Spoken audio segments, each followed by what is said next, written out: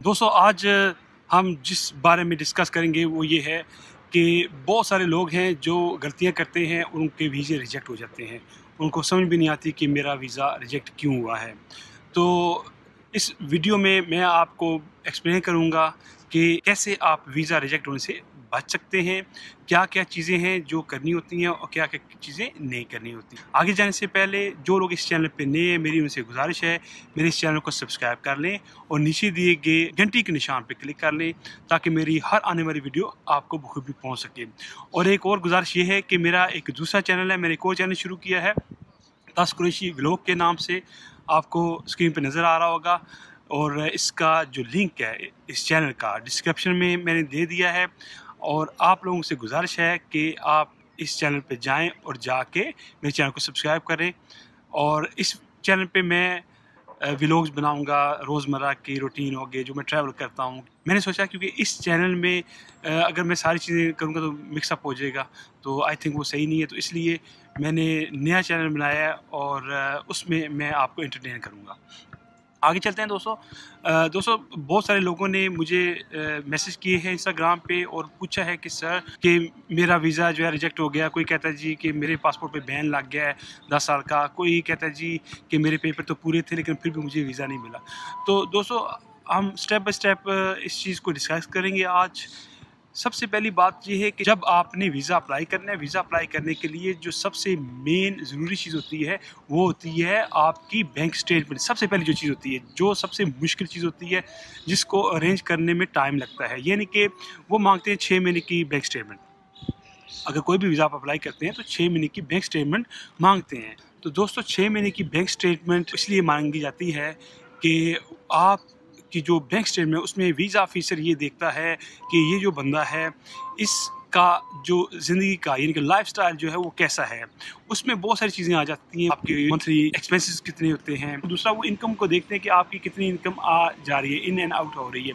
अगर तो आप हैं बिजनेसमैन तो उसमें बहुत सारी चीज़ें आ जाती हैं। फिर अगर आपने अपने आप को बिजनेसमैन शो किया हुआ है, जब आपने वीज़ा अप्लाई किया है तो फिर वो वीज़ा ऑफिसर देखता है कि ये बिजनेसमैन है और इसकी जो पर मंथ ट्रांजेक्शन कितनी हो रही है बैंक में?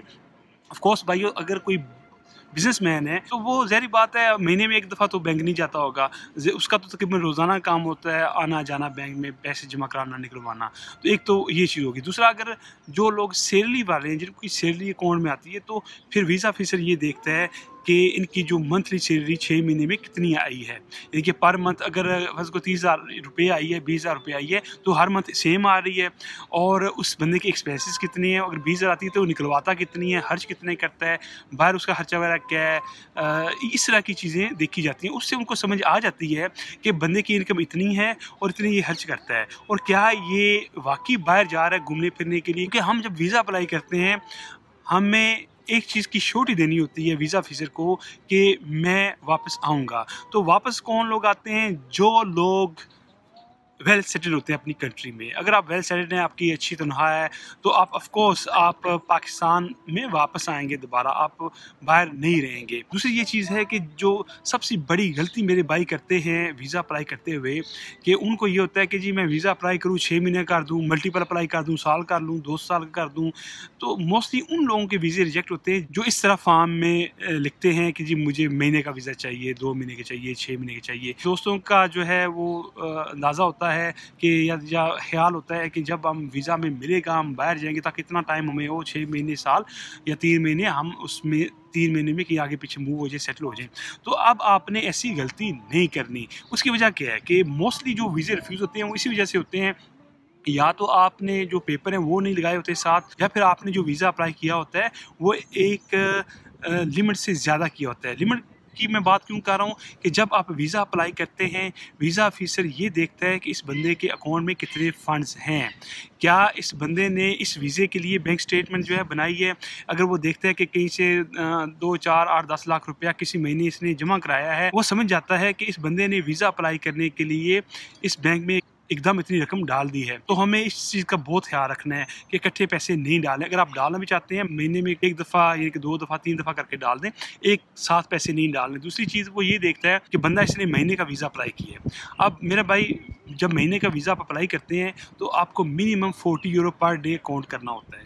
यानी कि अगर आप एक महीने का वीज़ा अप्लाई कर रहे हैं, thirty days forty euro per day के हिसाब से, ये तकरीबन बारह यूरो बनता है, जो तकरीबन इस वक्त दो ढाई लाख रुपये बनता है। और उसके अलावा फिर आपके टिकट के अखराज होते हैं, फिर आपकी और बहुत सारी चीज़ें होती हैं। जब आप वीज़ा अप्लाई कर रहे हैं तो आपके अकाउंट में अगर लाख, डेढ़ लाख रुपया है, फिर वो ये भी चीज़ देखते हैं कि महीने का, दो महीने का वीज़ा अप्लाई से बंदे ने किया है, इतने पैसे नहीं इसके अकाउंट में तो वो वीज़ा रिफ्यूज़ कर देता है आपका।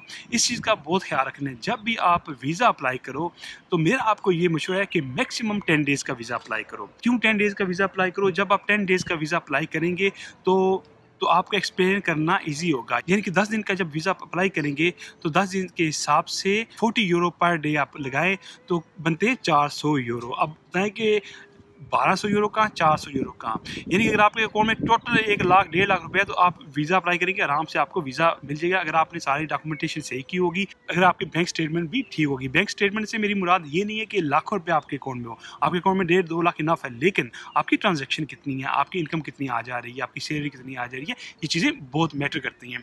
जब आप दस दिन का वीज़ा अप्लाई करेंगे तो ऑफकोर्स फिर आपने दस दिन की होटल बुकिंग करनी है आपने। तो इसी तरह अगर एक बंदे ने महीने का वीज़ा अप्लाई किया है तो फोर्टी यूरो पर डे के हिसाब से उसने शो करना है।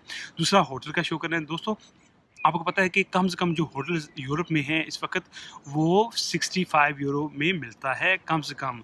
अगर आप हॉस्टल में रहते हैं तो भी 20 यूरो वो कर लो आप। आप 20 यूरो वो कर लो, महीने का अंदाज़ा करो कितने बन जाते हैं तो ये बहुत सारे पैसे बन जाते हैं। इसलिए अगर आप जब भी वीज़ा अप्लाई करें तो आपने दस दिन का वीज़ा अप्लाई करना है। दस दिन की आपने होटल रिजर्वेशन आपने शो करनी है और दस दिन की ही आपने ट्रैवल हेल्थ इंश्योरेंस आपने शो करनी है।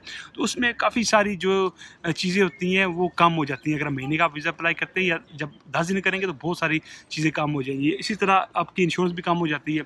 जब एक बंदा महीने का वीज़ा अप्लाई कर रहा है तो उसको ज़ाहिर पता है महीने के हिसाब से इंश्योरेंस जो है वो शो करनी पड़ती है या लेनी पड़ती है तो बहुत एक्सपेंसिव हो जाता है। तो इसलिए एक तो आपने इस चीज़ का बहुत ख्याल रखना है कि महीने का वीज़ा अप्लाई नहीं करना, दस दिन का वीज़ा अप्लाई करना है। दोस्तों, अगर आपने वहाँ जाके स्लिप होना है तो जहरी बात है महीना और दो महीने तो बात वहीं आ जाती है। आपका मेन मकसद क्या है कि आपको वीज़ा मिलना। तो अगर आप इस तरीके से चलेंगे, जिस तरह मैं आपको बता रहा हूँ, दस दिन का वीज़ा अप्लाई करेंगे आपको वीज़ा मिलने के 95 परसेंट चांसेस होंगे।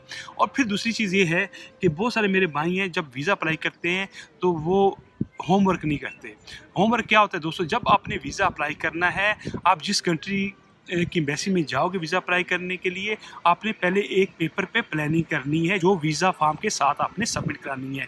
प्लानिंग क्या होगी कि आप फ़र्ज़ करो, आप जा रहे हैं हॉलैंड, या जर्मनी, या फ्रांस, या कहीं भी, माना कि आप स्पेन जा रहे हैं। ठीक है, आपने स्पेन एम्बेसी में वीज़ा सबमिट कराया है। तो आपने एक प्लानिंग कर, देनी है उनको। वो प्लानिंग क्या होगी कि जी दस दिन मैं जा रहा हूँ, दो दिन मैं बार्सिलोना रहूँगा, दो दिन मेड्रिड रहूँगा। इस तरह जो तीन, चार शहरों में आपने डिवाइड कर देने, दो दो तीन तीन दिन। तो दो दो तीन तीन दिन की ही आपने उन शहरों में बुकिंग करा लेनी है। जब वीज़ा ऑफिसर वो देखता है तो उसको काफ़ी सारा यकीन हो जाता है कि वाकई ये बंदा टूरिस्ट है, वाकई ये बंदा विज़िट करने के लिए जा रहा है, इसलिए इसलिए प्लानिंग की हुई है। अगर ये बंदा स्लिप होना होता तो ये एक जगह की बुकिंग करा लेता। तो उनको पता चल जाता है कि यार ये बंदा सही कह रहा है। तो ये प्लानिंग मैंने देखा कोई लोग करते नहीं है, किसी को पता ही नहीं इस चीज़ का।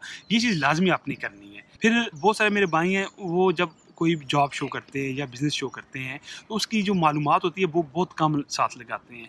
आपने क्या करना है, जब आप वीज़ा अप्लाई करते हैं, अपना कोई विजिटिंग कार्ड अपने बिज़नेस का, अपना कोई लेटर एड कंपनी का, उस पर आप लिखें कि जी, मेरा ये नाम है, ये डेट ऑफ़ बर्थ है, और मैं इस कंपनी का सी हूँ या मालिक हूँ वट जो भी हैं, मैं विज़िट पे जाना चाह रहा हूँ, मैं आपकी कंट्री को देखना चाहता हूँ। उससे भी शो होता है कि ये बंदा जो है, ये इसकी कंपनी है और ये इसका लेटर है। अगर आप जॉब कर रहे हैं किसी के पास तो उसमें फिर आपने ये करना है, जो आपका मालिक है जिसके पास आप जॉब कर रहे हैं उससे आपने एक लेटर लेना है। वो लेटर एक किस्म की एनओसी होती है, उसमें ये लिखा होता है, जो मालक होता है उसकी तरफ़ से, कि ये बंदा है, इसका ये नाम है, इतने ऐसे से मेरे पास काम कर रहा है, इतनी इसकी सैलरी है, और ये छुट्टियों पर जाना चाह रहा है, और आप इसको वीज़ा दें। तो इसमें भी बहुत हेल्प हो जाती है। ये उनकी रिक्वायरमेंट्स भी है। अगर आप देखें तो उनकी रिक्वायरमेंट्स भी है। अब मसला ये है कि जब आप उनकी रिक्वायरमेंट्स पूरी नहीं करेंगे, उनकी रिक्वायरमेंट्स को मीट नहीं करेंगे तो वीज़ा कैसे मिलेगा? बस वो कहते हैं, पंजाबी अधे क्रेडिट कार्ड लगा देना और जमा करा देना, उसका कोई फ़ायदा नहीं है। जब आपने वीज़ा अप्लाई करना है तो आपने उनकी रिक्वायरमेंट्स पूरी करनी उसके बाद फिर आपने सपोर्टिंग डॉक्यूमेंट्स भी साथ देने हैं। यानी कि आपका कोई घर है, कोई प्रॉपर्टी है, कोई शॉप वगैरह आपके नाम पर कुछ भी नहीं है तो गाँव वगैरह के जो लोग रहने वाले हैं ना, उनकी ज़मीनें होती हैं एग्रीकल्चर तो उसका जो फ़र्ज़ होता है पटवारी से लगे वो भी आपने साथ लगाना है। ये आप जब सारी चीज़ें कंप्लीट करेंगे तो आपको वीज़ा मिलने के 95 परसेंट चांस होंगे। तो ये थी दोस्तों आज तक की video I hope you like this video if you like this video don't forget to subscribe like share this video मिलते हैं एक नई वीडियो के साथ। तस्कर इजाज़ें अल्लाह हाफिज़।